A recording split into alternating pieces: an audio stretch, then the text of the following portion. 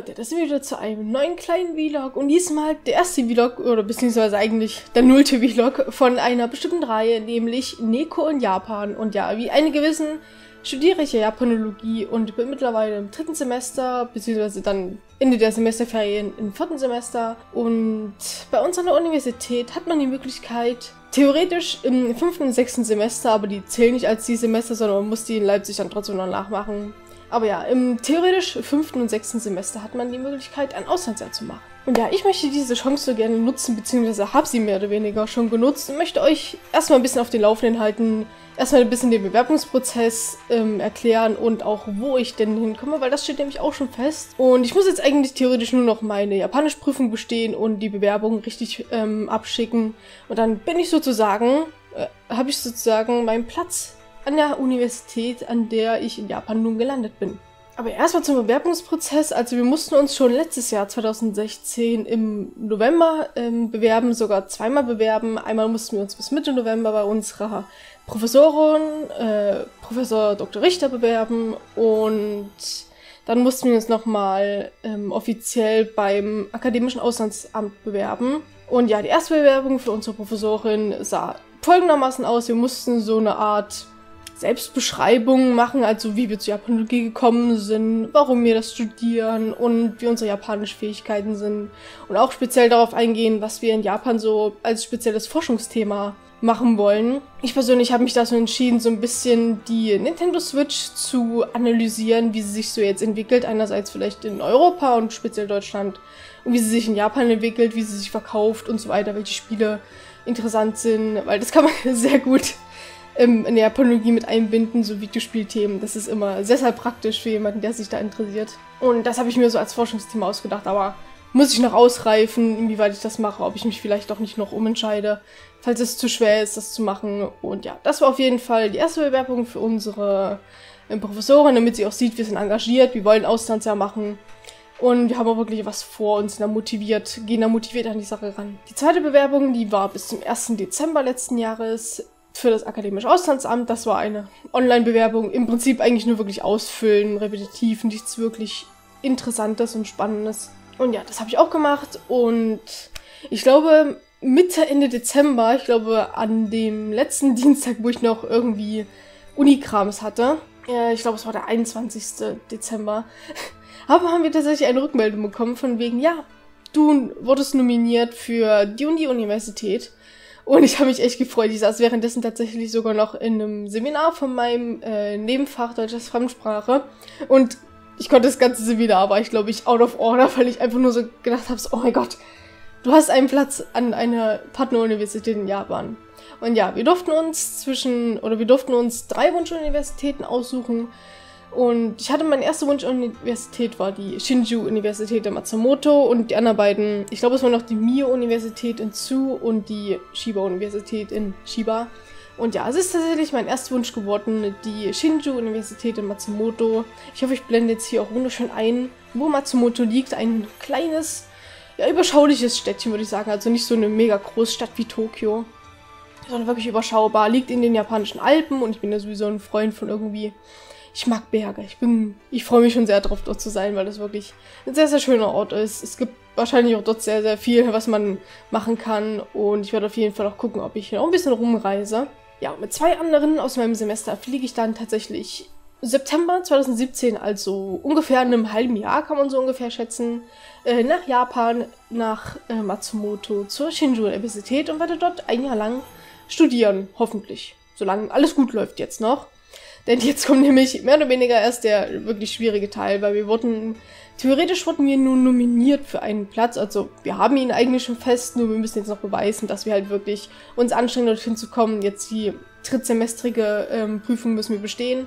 Ich bin natürlich das erste Mal wieder durchgefallen, aber auch nur ganz knapp. Also glaube ich, fünf Punkte haben mir gefehlt zum Bestehen. Und deswegen muss ich jetzt nur noch die Nachprüfung machen, die bestehen, was aber kein Problem sein sollte. Und wir müssen uns tatsächlich jetzt noch, das ist aber unterschiedlich, wir haben irgendwie acht Partneruniversitäten, ich bin mir gar nicht mehr sicher. Also doch schon einige. Und für jede Partneruniversität gibt es jetzt noch ein eigenes Bewerbungsverfahren, wo wir uns wirklich an der Partneruniversität als Austauschstudenten bewerben sollen.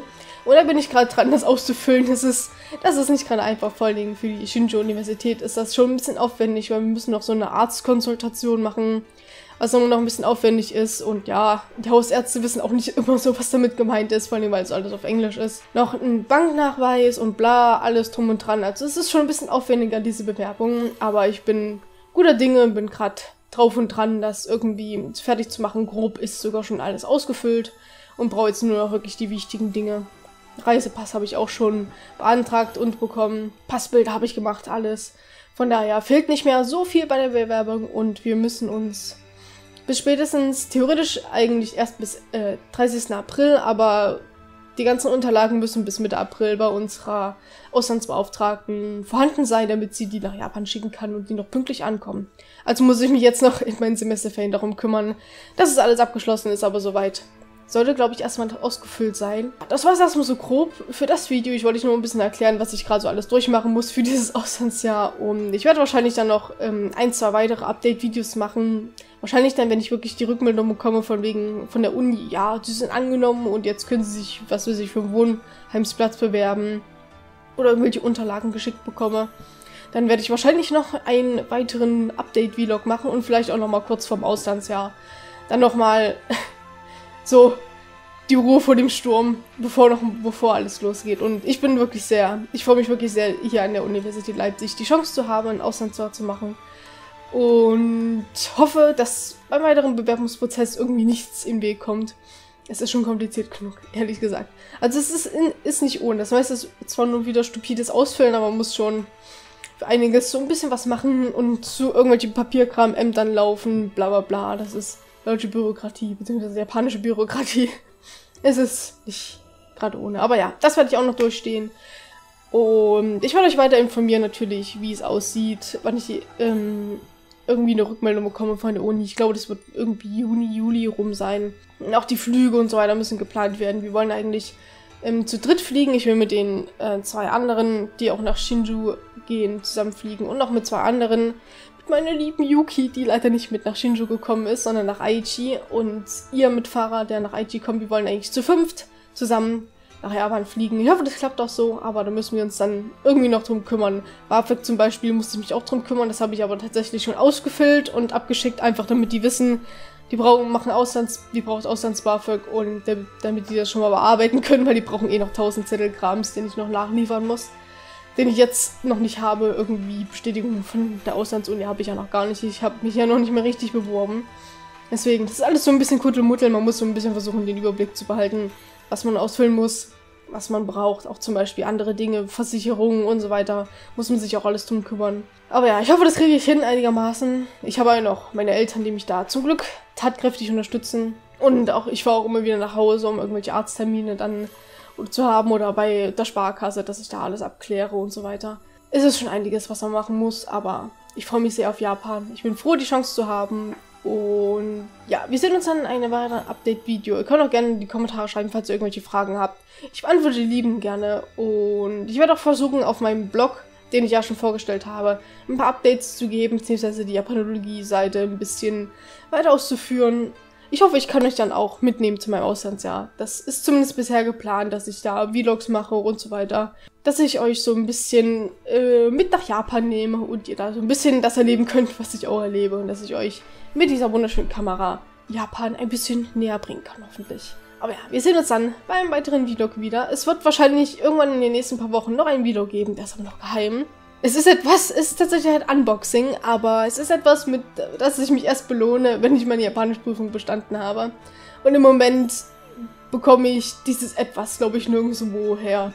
Und ich hoffe, dass ich sie in zwei Wochen oder das etwas in zwei Wochen irgendwo auffinden kann hier. Ich meine, ich lebe eigentlich in einer Großstadt. In irgendeinem Markt wird es schon vorhanden sein. Wenn ich, ja, ich hoffe, ich werde es können. Aber dazu kommt auf jeden Fall auch ein Unboxing und einige werden wahrscheinlich schon erraten, um was es sich da handelt. Aber ja, das gibt es dann erst in ein paar Wochen. Ich bedanke mich fürs Zuschauen und ja, weitere Updates folgen. Bis dahin, macht's gut und ciao.